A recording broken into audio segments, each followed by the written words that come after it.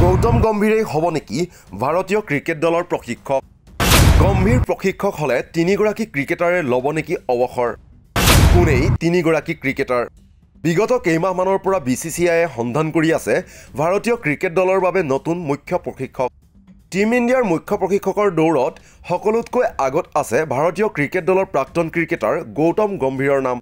যদি গৌতম গম্ভীৰে কলকাতা নাইট ৰাইডাৰ্ছৰ মেণ্টৰৰ দায়িত্ব ত্যাগ কৰি ভাৰতীয় ক্ৰিকেট দলৰ মুখ্য প্ৰশিক্ষক হিচাপে যোগদান কৰে তেন্তে তিনিজন ভাৰতীয় খেলুৱৈৰ হ'ব সমস্যা।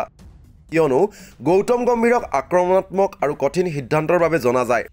টীম ইণ্ডিয়াত বৰ্তমান সময়ত বহু খেলুৱৈয়ে বিশেষ প্ৰদৰ্শন দেখুৱাব নোৱাৰাৰ পাছতো দলৰ মূল একাদশত স্থান লাভ কৰি আছে।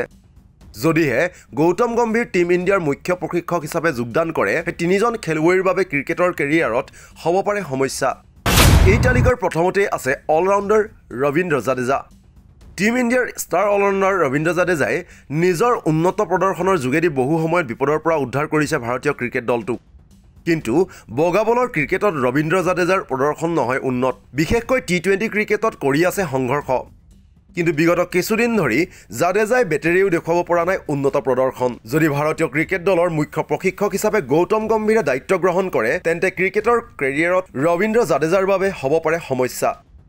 যদিহে জাদেজাই সময়ৰ সুযোগৰ সদব্যৱহাৰ নকৰে তেন্তে দলৰ পৰা বাহিৰ কৰিবলৈও বেছি সময় নলগায় গৌতম গম্ভীৰে। কিয়নো গৌতম গম্ভীৰে গুৰুত্ব দিয়ে দলৰ প্ৰদৰ্শনৰ ওপৰত যাৰ বাবে সমস্যা হ'ব পাৰে ৰবীন্দ্ৰ জাদেজাৰ। দ্বিতীয়তে যদি গৌতম গম্ভীৰে প্ৰশিক্ষকৰ দায়িত্ব গ্ৰহণ কৰে তেন্তে আন এগৰাকী খেলুৱৈৰো হ'ব পাৰে সমস্যা। তেওঁ হ'ল হাৰ্দিক পাণ্ডিয়া। কিয়নো অলৰাউণ্ডাৰ হাৰ্দিক পাণ্ডিয়াই দুই এখন মেচত উন্নত প্ৰদৰ্শন কৰে যদিও শেহতীয়াকৈ ফৰ্মত নাই খেলুৱৈগৰাকী। ফৰ্মত নথকাৰ পাছতো দলত নিজৰ স্থান অক্ষুণ্ণ ৰাখিছে হাৰ্দিক পাণ্ডিয়াই। উল্লেখ্য যে গৌতম গম্ভীৰে হাৰ্দিক পাণ্ডিয়াক সুযোগ দিব। কিন্তু তেওঁ সেই সুযোগৰ সদব্যৱহাৰ কৰিব নোৱাৰিলে গৌতম গম্ভীৰে দলৰ পৰা বাহিৰ কৰিবলৈ কোনো কুণ্ঠাবোধ নকৰে। সাধাৰণতে দেখা গৈছে ৰাহুল দ্ৰাবিড়ৰ কাৰ্যকালত ফৰ্মত নথকা স্বত্তেও বহু খেলুৱৈয়ে স্থান লাভ কৰিছে দলত। তৃতীয়তে গৌতম গম্ভীৰে প্ৰশিক্ষকৰ দায়িত্ব গ্ৰহণ কৰিলে আৰু এগৰাকী তাৰকা খেলুৱৈৰ হ'ব পাৰে সমস্যা। তেওঁ হ'ল বিৰাট কোহলি। কিয়নো গৌতম গম্ভীৰ আৰু বিৰাট কোহলিৰ মাজত পূৰ্বৰে পৰা আছে কিছু মতানৈক্য। বিগত সময়ত এই মতানৈক্য খেলপথাৰতো দেখা গৈছিল। দুহেজাৰ চৌব্বিছ চনৰ আই পি এলৰ সময়ত দুয়োৰে মাজত সম্পৰ্ক কিছু উন্নত হৈছিল যদিও গৌতম গম্ভীৰ প্ৰশিক্ষক হ'লে দুয়োজনে শ্বেয়াৰ কৰিব লাগিব ড্ৰেছিং ৰুম। গতিকে ড্ৰেছিং ৰুমত দুয়োৰে মাজত হ'ব পাৰে মতানৈক্য। উল্লেখ্য যে গৌতম গম্ভীৰ এগৰাকী সফল ক্ৰিকেটাৰ। দুহেজাৰ সাত চনৰ টি টুৱেণ্টি বিশ্বকাপ আৰু দুহেজাৰ এঘাৰ চনৰ এদিনীয়া বিশ্বকাপত ভাৰতৰ জয়ত উল্লেখনীয় অৱদান আছিল গৌতম গম্ভীৰৰ।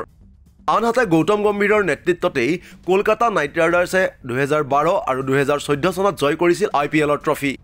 শেহতীয়াকৈ টাটা আই পি এল দুহেজাৰ চৌবিছৰ কলকাতা নাইট ৰাইডাৰ্ছৰ জয়ত মেণ্টৰ গৌতম গম্ভীৰৰেই আছে গুৰুত্বপূৰ্ণ অৱদান।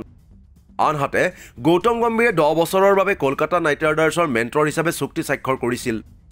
যদিহে ভাৰতীয় ক্ৰিকেট দলৰ মুখ্য প্ৰশিক্ষকৰ দায়িত্ব গ্ৰহণ কৰে তেন্তে গৌতম গম্ভীৰে এৰিব লাগিব কলকাতা নাইট ৰাইডাৰ্ছৰ মেণ্টৰৰ দায়িত্ব। অৱশ্যে শ্বাহৰুখ খানৰ লগত এই সন্দৰ্ভত আলোচনা কৰাৰ পাছতহে গম পোৱা যাব গৌতম গম্ভীৰ কলকাতা নাইট ৰাইডাৰ্ছৰ মেণ্টৰ হৈয়ে থাকিব নে দহ বছৰীয়া চুক্তিৰ অৱসান ঘটাই ভাৰতীয় ক্ৰিকেট দলৰ প্ৰশিক্ষকৰ দায়িত্ব কাণ পাতি ল'ব। Sports desk report the cross current.